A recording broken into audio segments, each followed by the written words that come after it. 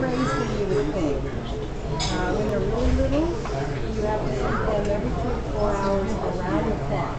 All of these still Oh my, look at their little bellies. hours, But usually starting about 6 a.m. and finishing about 9 p.m.